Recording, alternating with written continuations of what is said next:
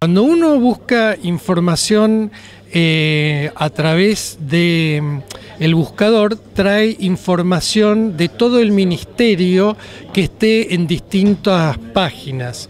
Cuando uno entra a la información a través de las categorías, esta es información que ya ha sido estandarizada, con lo cual te permite, como vieron recién, eh, ciertas ventajas como por ejemplo uno puede eh, ver información de, por ejemplo, de determinado cultivo, distintas variables, eh, hectáreas sembradas, hectáreas cosechadas, rendimiento, y esto según campaña, según localidad, según provincia, según departamento.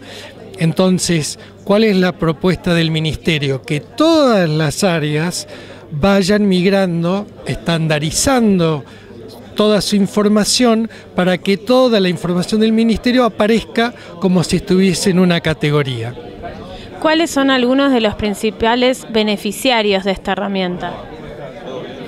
A ver, eh, te diría los productores, o para ser más amplio, la comunidad agroindustrial en general.